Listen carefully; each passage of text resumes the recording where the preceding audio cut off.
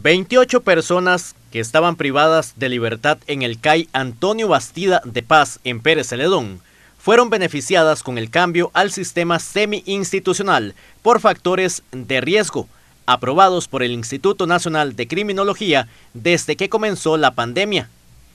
Primero, fueron 14 bajo una primera directriz que fue emitida por el Ministerio de Justicia y Paz,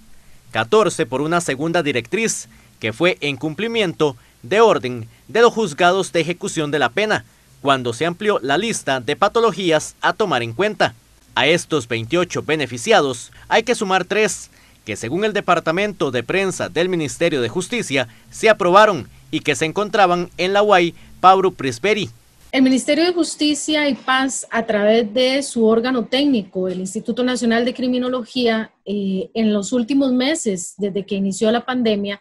ha eh, puesto en marcha dos circulares en las cuales se establecen algunos criterios para que personas privadas de libertad que cumplan con esos criterios y que cumplan con todo su proceso integral puedan ser valorados para ser cambiados de modalidad y pasar de la modalidad institucional a la semi-institucional.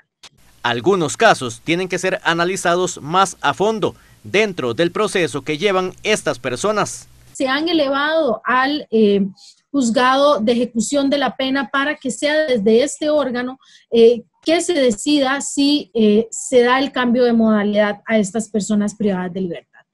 Aunque estas variantes provocan cierta preocupación en algunos sectores, en el ministerio defienden que hasta el momento los resultados son positivos. Nos sentimos muy orgullosas, es que todas estas personas que han sido cambiadas de modalidad han tenido éxito, han logrado establecer relaciones y vínculos con la sociedad eh, que les permita la inserción social y eh, han mantenido el cumplimiento de todas las medidas que se les solicita para poder mantenerse. A nivel nacional, se realizaron hasta el momento 202 cambios al sistema semi-institucional.